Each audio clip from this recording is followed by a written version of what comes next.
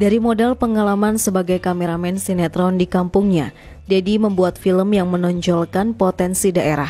Sudah puluhan film yang dibuatnya melalui rumah produksi Sumur Production.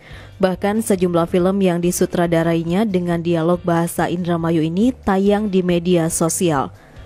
Kini Dedi yang akrab disapa Reang ini membuat kembali film terbarunya yang berjudul 120 Hari atau 120 Dina.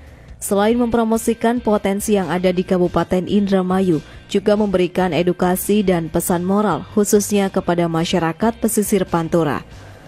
Dalam film drama rakyat ini mengangkat kisah nyata masyarakat nelayan di pesisir pantai utara Indramayu. Film ini menceritakan seorang lelaki yang terdesak ekonominya dan istrinya sedang hamil.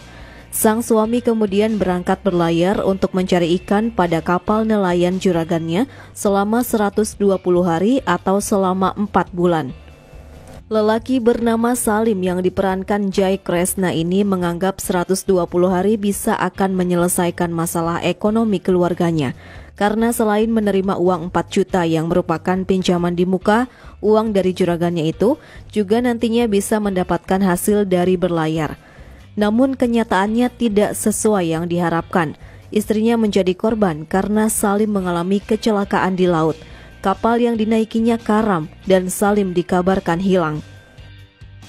Istilah 120 hari atau 120 dina itu mengkisahkan tentang seorang eh, laki-laki uh, yang punya istri sedang hamil karena dia terdesak tentang ekonomi akhirnya mengambil keputusan untuk berangkat pergi selama 120 hari. Itu maksudnya kayak gitu kan 120 hari meninggalkan istrinya. Nah dianggap 120 hari itu dia akan menyelesaikan masalahnya secara ekonomi tapi nyatanya enggak kayak gitu kan. Semua efeknya menjadi korban. Korbannya adalah istrinya ditinggalkan, dianggap uh, si suaminya itu meninggal karena berlayar. Potensi budaya masyarakat Indramayu sangat luar biasa dan saya ingin bagaimana budaya Indramayu itu bisa terangkat secara nasional. Tidak hanya itu, sektor perikanan. Harusnya nelayan itu kaya.